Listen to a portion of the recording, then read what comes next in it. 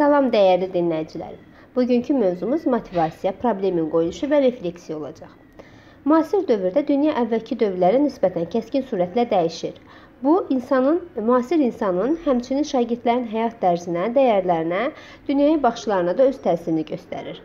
Nəzərə alsaq ki, bir çox şagirdlər günün böyük hissəsini texnologiya, kompüter, mobil telefonlardan istifadə etməklə dinamik həyat yaşayır, artıq təlim-tədris prosesini əvvəlki kimi təşkil etmək qeyri-mümkün hala çevrilir və dərs prosesini yeni mühitə uyğunlaşdırmaq zərurəti ortaya çıxır. Motivasiya istənilən fəaliyyətə maraq oyatmaq deməkdir. İnsanın gördüyü iş üçün alacağı maddi və mənəvi mənfəət insanı motivə edən faktordur. Şagirdləri təlimə motivə etmək, onlarda təlimə maraq oyatmaq, nəticəni əvvəlcədən göstərərək prosesi cəlb etməkdir. Həmçinin motivasiya elə bir fəaliyyətdir ki, şagirdləri idrak fəallığı, fəallığı əsasında aktiv şəkildə dərsə cəlb edir. Bununla bağlı tədqiqatçı Robert Philip şagirdi qarmağa keçirmək ifadəsini işlədib.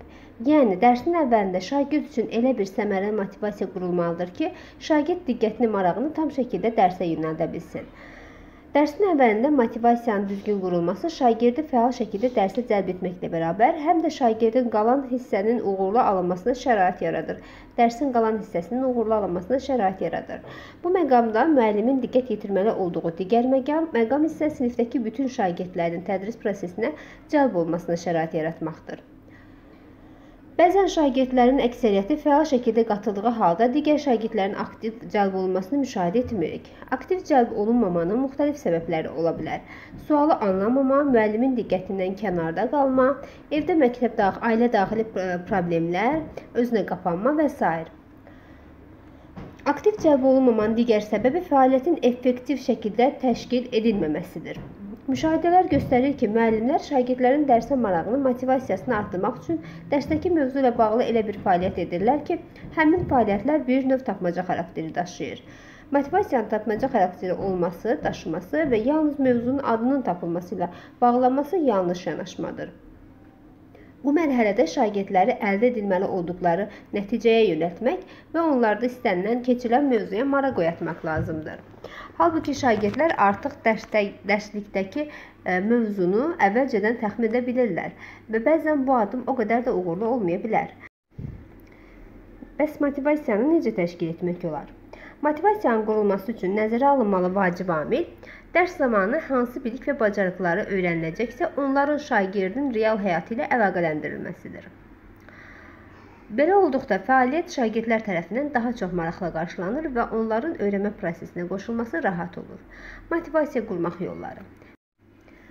Əyani vəsaitlərdən istifadə etmək, şəkillər, karikaturalar, videolardan istifadə etmək şagirdlər tərəfindən maraqlı qarşılanır açıq tipli suallar vermək, bir cavab olan suallar vermək məqsədə uyğun deyil. Çünki düşündürücü olmur və idraki fəallıq yaratmır. Crossword tərtib etmək, hekayə oxumaq. Əvvəlcədən xəbərdar edə bilərsiniz ki, birazdan mətn üzərində suallar veriləcək. Ona görə də diqqətlə dinləsinlər. Bu zaman şagirdlər maksimum diqqətlə dinləməyə çalışacaqlar yaxud oxu zamanı müəyyən yerləri boş saxlamaq olar ki, şagirdlərə bu boşluqlar nə yazmaq olar deyə suallar vermək olsun. Sonra içərisində bir neçə səhv buraxılmış mətn göstərilə bilər. Şagirdlərdən bu səhvləri tapmaq və düzəltmək tələb oluna bilər. Sonra rəsm dərsində hər hansı bir rəssamın əsəri göstərilə bilər və şagirdlərə sual oluna bilər ki, bu şəkil haqqında, bu şəkilə baxdıqda rəsmin hansı özünə məxsusluğu diqqətinizi çəkir, nə üçün? Daha sonra musiqi dərsində hansısa bəstəkarın mahnılarından ibarət parçalardan istifadə etməklə beyin həmləsi etmək olar. İlk əvvəl İlk əvvəl motivasiya qurmaq çətin ola bilər, lakin davamlı və səylə çalışdıqda bu vərdiş halına çevrilir. Sadəcə bu prosesə müəyyən qədər yaradıcı yanaşmaq lazımdır. Sonra gəlir refleksiya. Filosof Edmund Burke demişdir ki, refleksiya etmədən öyrənmək qidanı çeynəmədən yemək kimidir. Deməli, refleksiya etmədən öyrənmək qidanı çeynəmədən yemək kimidir. Refleksiya şagirdlərin düşüncəsi, əməli, xarakteri, dünya görüşü və idrak proseslərindən xəbərdar olmaları və bunu başqaları ilə bölüşmələridir. Refleksiya öyrənmə prosesində elə bir fəaliyyətdir ki, Bu mərhələdə biz şagirdlərə lazımi vaxt və şərait təşkil etdikdə onların təkcə öyrənməsi deyil, düşüncəsi, xüsusilə də tənqidi düşüncə bacarıqları inkişaf eləyir. Refleksiya öyrənmə prosesində nə üçün və necə suallarına cavab axtarır və nəticə etibarilə şagirdlərə nə etmək lazım olduğunu aydınlaşdırır.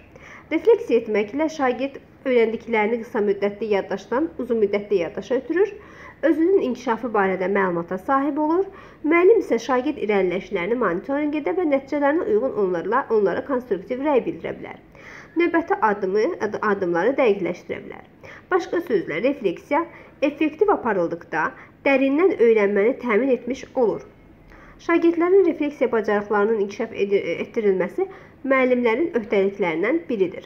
Müəllimlər şagirdlərə refleksiyanın necə aparılmasına nümunə olaraq göstərməli, dərs planında refleksiyaya yer almalı və özləri də bu fəaliyyətlərini refleksiya etməlidirlər.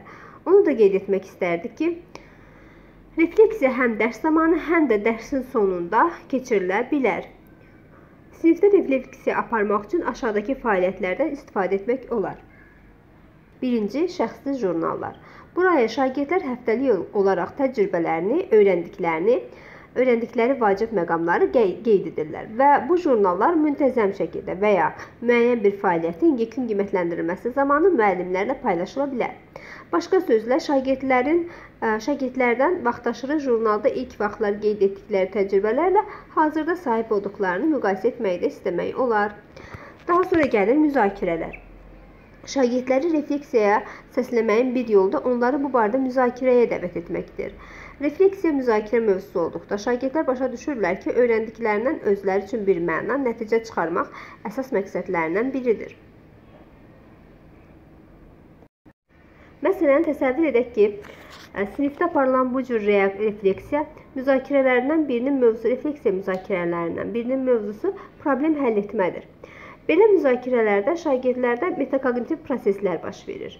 Onlar problemi həll etmək üçün istifadə etdikləri strategiyaları açıqlayırlar və bu proses zamanı qurduqları beyin xəritəsini digər şagirdlərlə də bölüşürlər. Daha sonra gəlir müsahibə. Şagirdlərə öz öyrənmələri və inkişafları ilə bağlı refleksiya etmək imkanı verən digər üsullardan biri də müsahibədir ki, onun vasitəsilə həm müəllim şagirdlərdən, həm də şagirdlər bir-birinə e, münasibətdə müsahibə ala bilərlər. Bunun üçün dərsin və ya dərs vahidinin, sinif gününün və ya dərs ilinin müəyyən vaxtını bu cür qarşılıqlı dialoqa ayıraraq nəyin öyrənildiyinə baxmaq olar. Bu zaman şagird öyrəndikləri, şagirdləri öyrəndiklərinin gələcəkdə necə tətbiq edə biləcəkləri barədə şagirdləri fikirləşməyə sövq etmək olar. Sonra gəlir sorğu. Yaxşı tərtib olunmuş suallar və qarşılıqlı hörmət və inama əsaslanan sinif mühiti şagirdlərin öyrənməsi ilə bağlı fikirlərini, anlama və tətbiq bacarıqlarını üzə çıxartmağa imkan yaradacaq. Bu cür sorğu üçün aşağıdakı sualları misal gətirə bilərik. Öz fəaliyyətlərini əks etdirərkən hansı strategiyalardan istifadə edirsən? Anlamanı hansı üsullarla yoxlayırsan? Bölmənin əvvəlində müəyyənləşdirdiyin öyrənmə məqsədlərinə çatmısanmı? Belədirsə, nəyin sayəsində onları əldə etdin? Nail olmamısansa, sənə nə mane oldu? İkinci yarımildə, birinci yarımildə nəyi fərqli etməyi planlayırsan və s. kimi suallarla sorğu təşkil etmək olar. Daha sonra gəlir cümlə kökləri. Bu üsulun digərlərindən fərqi hazır ifadələr verməklə şagirdləri danışmağa və düşünməyə sövq etməsidir. Bu ifadələr əllərində olduqdan, olduqdan sonra şagirdlər ən azından nəsə, nəyəsə başlayacaqlarını bilirlər. Məsələn, şagirdlərə özlərinə uyğun tamamlamaları üçün aşağıdakı cümlə başlıqlarını vermək olar. Bu fəaliyyətdə tətbiq etdiyim bacarıqlar nöqtələr qoyulur. Bacarıqlar nələr oldu? Yəni o nöqtələrin yerinə özləri cavab tapacaqlar. Bu mövzu ilə bağlı mənə qaranlıq, mənə qaranlıq qalan nöqtələr gəlir yerində. Sonra gələn dərs bölmə üçün öyrənmə məqsədlərim yenə nöqtələr, həmin nöqtələrin yerini şagirdlər özlərinə uyğun doldururlar. Sonra gəlir çıxış biletləri.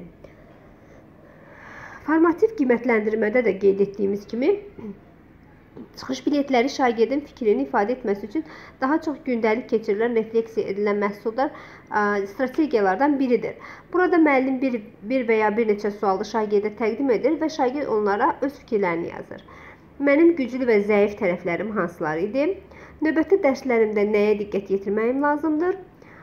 Mən inkişaf etmişəmmi və nələrin üzərində hələ də çalışmalıyam? Dərsdə aktivliyim necə idi və sinif yoldaşlarımla əməkdaşlığım səmərəli oldumu və s. kimi Suallar. Gördüyünüz şəkillərdə çıxış biletlərinə aid nümunələr təsvir olunmuşdur. Çıxış bileti üçün şagirdlərin 3-2-1 strategiyasından istifadə etmək də olar.